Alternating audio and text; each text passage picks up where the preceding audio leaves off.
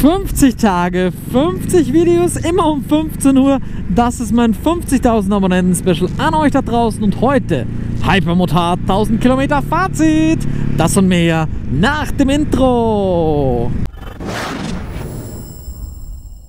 Ja, meine Freunde, heute bin ich auf dem Rückweg mit der Ducati Hypermotard. Ich muss sie leider abgeben. 1600 Kilometer bin ich mit ihr gefahren. Holy crap, war das eine coole Zeit. Kalte Kuchel, Wildalpen, Greindimbach, Polizeikontrollen, Autobahnstrecke und wieder Retour. Viele, viele Kilometer, viele Tankfüllungen, aber bei der Boy kann man kurz schauen, ich glaube 5 Liter brauche ich auf. Ja, 5,6 aktuell, weil wir ein bisschen gerast sind. Aber normal ist es so, um die 5 Liter kann man das Eisen fahren. Finde ich vollkommen okay. Ja, die Tankgröße ist für mich komplett ausreichend. Man kommt so ein bisschen weiter als 200 Kilometer. Für die normale Tour reicht es aus. Einmal tanken und die Sache hat sich dann wieder erledigt. Aber das, was mich auf den 1000 Kilometern am meisten beschäftigt hat, war eigentlich der Motor. Also, sorry, dass ich jetzt nicht auf dieses Thema Optik, bliblablo als erstes eingehe, aber das Thema Motor hat mich am meisten beschäftigt. Und die Frage, ist ein Zweizylinder eine Supermoto oder kann ein Zweizylinder in einer Supermoto funktionieren? Und ich muss zu meiner persönlichen Verwunderung sagen, ja, und es passt sogar unglaublich gut. Es passt so unglaublich gut, dass ich jedem Supermoto-Fahrer empfehle, der nur auf der Straße unterwegs ist, sich die Ducati Hypermotard mal anzusehen, weil das Aggregat einfach so souverän funktioniert. In den unteren Touren, also alles unter 3000 Euro, schmeißt das Motorrad in die Ecke und lasst es dort liegen. Da braucht man es nicht. Aber ab 3000, in dem Bereich, wo ich es immer fahre, das Motorrad, habe ich 80% des Drehmoments. Und oh mein Gott, 200 Kilo, so arg am Beschleunigen, so viel Freude. Und das Tolle ist, scharf angebremst mit der Doppelbremsscheibenanlage von Brembo vorne, vor jeder Kurve, zack, dankert, weiterzogen. Wow, wow, wow, wow. Die Technik hier ist so ausgereift und so funktionsfähig, dass ich sage, warum nicht gleich so? Warum habe ich so lange gewartet mit diesem Test?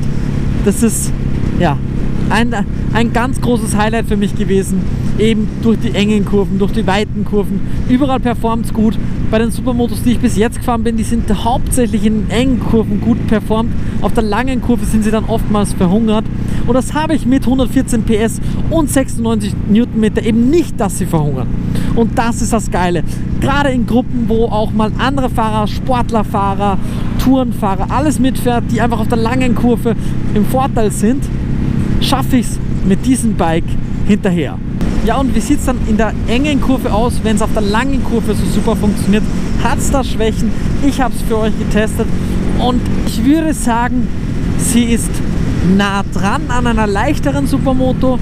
Der hypersensible Lenker, der vom sehr steilen Lenkkopfwinkel kommt, macht seinen Job gut der arbeitet auch gut in der engeren Kurve, aber man merkt halt dann schon ein bisschen, dass sie etwas träger ist als im Vergleich dazu eben eine leichtere. War aber nie das große Problem, weil es eben auf den anderen Distanzen und auf der Geraden und überall sonst auf der Straße, auf der normalen Landstraße, wo wir tagtäglich uns bewegen, besser funktioniert als diese klassischen Supermotos. Und ich spreche bitte nicht von Zweitaktern oder von 100 Kilo Supermotos, sondern ich spreche von den normalen Straßen zugelassenen drei andere Modelle, die es aktuell am Markt gibt. Und ja, funktioniert. Ja, nach 1000 Kilometern muss ich sagen, vom Fahrwerk her würde ich es mir noch etwas härter stellen, wenn ich das Motorrad jetzt länger fahren würde, aber ich hatte es eben jetzt nur 10 Tage.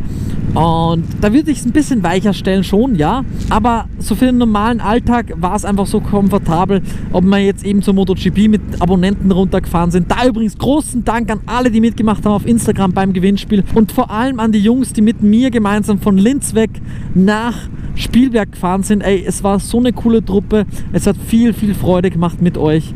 Und ja, springen wir weiter. Ich glaube, ich habe noch nie ein Testmotorrad so viel geshootet wie die Hypermotard, weil ich es erstens 10 Tage hatte und trotz schlechtem Wetter konnte ich einfach nicht weg von ihr. Ich bin so oft eingeregnet worden mit dem Motorrad, aber ich konnte einfach nicht weg. Ich konnte einfach, ich musste das Motorrad bewegen. Es half nichts. Ich, ich war so süchtig jetzt danach und ich frage mich, wie ich ohne sie klarkommen soll. Und das Lustige ist, ich habe auch den Jules Vlogs dabei gehabt.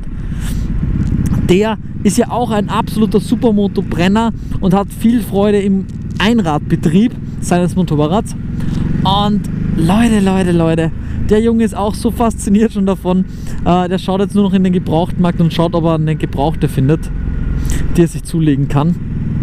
Und das fand ich halt mega lustig, weil es einfach so, ja, er, der, der vor einem Monat noch gesagt hat, dass der Zweizylinder eine Katastrophe ist in einer Supermoto, ist jetzt so, oh mein Gott, ich will dieses Ding haben. Und das, glaube ich, beschreibt auch meinen Gemütszustand am besten. Ich bin halt auch so, ich will dieses Ding haben. Ich finde es einfach nur geil. Es fährt sich fantastisch und macht genau das, was ich mir von einem Motorrad erwarte.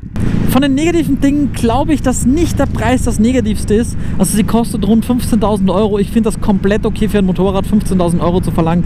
Was ein ordentliches Display, was ein voll einstellbares Fahrwerk hat und was eben auch in der Form verarbeitet wurde wie die Ducati. Wo ich aber schon etwas vermutlich als größten Kritikpunkt sehen würde, für viele Leute wird das Motorrad zu hoch sein. Gerade die SP-Version ist noch mal höher als die normale Version, die ich jetzt hier fahre. Ich weiß leider gerade auswendig nicht, wie viel Meter die noch höher ist, aber die ist nochmal ordentlich höher. Und da werden die meisten Schwierigkeiten haben. Ich mit meinen 1,83, 1,82, 1,84, was auch immer, passe super drauf und habe gar kein Problem. Ich habe lange Füße und einen relativ kurzen Oberkörper und das passt. Mit kleinerem Körpermaß wirst du ein bisschen Schwierigkeiten haben, aber da empfehle ich dir einfach, geh zum Ducati-Händler, zum Beispiel zu Ducati Wien, zum Ebner, sag du bist von Tom Tour und sitz dich auf die Ducatis drauf äh, und probier sie aus. Ich glaube, das ist der Haupttipp, den ich euch gerne geben möchte. Probiert es aus und vor allem leiht euch auch mal einen Ducati Hypermotard aus für eine Rundfahrt, um sie zu testen, um herauszufinden, ob vielleicht eure Einzylinder-Supermoto nicht hundertprozentig das ist, was ihr sucht, sondern dieses Teil eher was für euch ist. Wenn euch dieses Video gefallen hat und ihr mehr von der Hypermotard sehen wollt und vielleicht auch die SP sehen wollt, dann vergesst nicht, diesen Kanal kostenlos zu abonnieren und dieses Video positiv bewerten, damit ich sehe, dass ihr mehr Hypermotard haben wollt. Mein Name ist Tom, danke fürs Zusehen, haut rein und pfiat euch!